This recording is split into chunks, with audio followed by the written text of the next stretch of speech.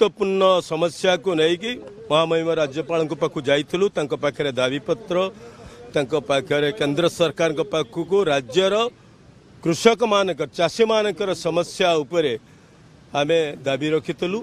ଯେଉଁ ଦାବିର ମୁଖ୍ୟ ଦାବି ଥିଲା ଯେଉଁଟା ବାରମ୍ବାର ଆମେ କରି ଆସିଛୁ ଯେଉଁଟା ଆମ ବିଧାନସଭା ଗୃହରେ ଦଳ ମତ ନିର୍ବିଶେଷରେ ସର୍ବସମ୍ମତିକ୍ରମେ ନିଷ୍ପତ୍ତି ହେଇଥିଲା। ଚାଷୀମାନଙ୍କର ସହାୟକ ମୂଲ୍ୟ ଧାନର ସହାୟକ ମୂଲ୍ୟ ନିମ୍ନ- ସହାୟକ ମୂଲ୍ୟ ଅଣତିରିଶଶହ ତିରିଶ ଟଙ୍କା ପାଇଁ ଏ ପର୍ଯ୍ୟନ୍ତ କେନ୍ଦ୍ର ସରକାର ସେଥିରେ ଦୃଷ୍ଟିପାତ କଲେ ନାହିଁ କର୍ଣ୍ଣପାତ କଲେ ନାହିଁ।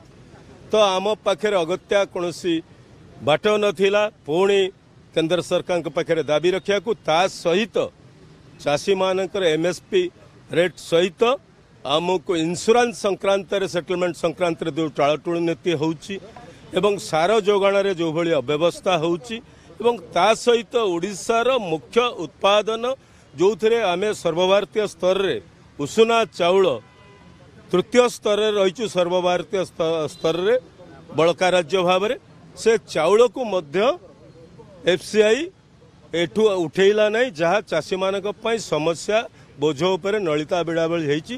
ଚାଷୀମାନେ ହେଉଛନ୍ତି ଏ ରାଜ୍ୟର ସତୁରି ଭାଗ ଜନସାଧାରଣ ସେମାନେ ଏବଂ ସେମାନଙ୍କ ଭିତରେ ଅଧିକାଂଶ ମାର୍ଜିନାଲ ଫାର୍ମର୍ସ ଅଛନ୍ତି ଛୋଟ ଚାଷୀ ଅଛନ୍ତି ତ ଚାଷୀମାନଙ୍କ ପାଇଁ ଆମେ ଏ ରାଜ୍ୟର ସତୁରି ଭାଗ ଲୋକଙ୍କ ସମସ୍ୟାକୁ ଉପସ୍ଥାପିତ କରିବା ପାଇଁ ମହାମହିମ ରାଜ୍ୟପାଳଙ୍କ ପାଖକୁ ଯାଇଥିଲୁ କେନ୍ଦ୍ର ସରକାରଙ୍କ ପାଖରେ ସେ ଆମର ଦାବି bu- ବିଜୁ ଜନତା ଦଳର ବିଧାୟକମାନଙ୍କର ଏଇ ଯେଉଁ ଦାବି ଆଜି ବିଧାନସଭାର ଦ୍ୱିତୀୟ ଦିବସରେ ବିଧାନସଭାରୁ ଚାଲି ଚାଲି ଆସିକି ଗଭର୍ଣ୍ଣର ହାଉସ୍ ରାଜଭବନ ପାଖରେ ପହଞ୍ଚିଥିଲୁ।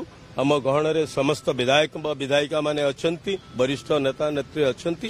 ସମସ୍ତେ ଆମେ ରାଜ୍ୟପାଳଙ୍କୁ ଭେଟିକି ଆସିଲୁ। ଆଶା କରିବୁ ଏଇଥର ମଧ୍ୟ କେନ୍ଦ୍ର ସରକାରଙ୍କର କୁମ୍ଭକର୍ଣ୍ଣ ନିଦ୍ରା ଭଙ୍ଗ ହେବ। ଓଡ଼ିଶାର ଚାଷୀମାନଙ୍କର ସମସ୍ୟାକୁ ଶୁଣିବେ।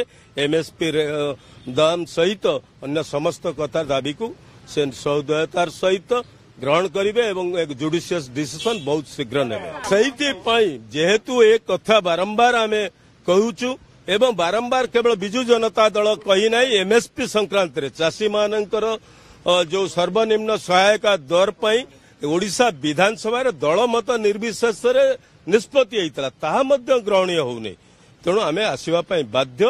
ଆମେ ଅହିଂସା ଅହିଂସାତ୍ମକ ଆନ୍ଦୋଳନ ଦାବି ଏଥିରେ ବିଶ୍ୱାସ କରୁ ତେଣୁ ଆଜି ବିଧାନସଭା ଆରମ୍ଭରେ ପୁଣି ଚାଷୀମାନଙ୍କ ସମସ୍ୟାକୁ ଦୋହରାଇବା ପାଇଁ ଆମେ ରାଜ୍ୟପାଳଙ୍କ ପାଖକୁ ଆସିଥିଲୁ ନା ଏ କଥା କେହି ବି କହିପାରେ ଚାଷୀମାନଙ୍କ ସମସ୍ୟାକୁ ଯଦି କିଏ ଡ୍ରାମା ଭାବୁଥାଏ ଆମର କିଛି କହିବାର ନାହିଁ। ଚାଷୀମାନେ ସେ କଥା ବୁଝିବେ।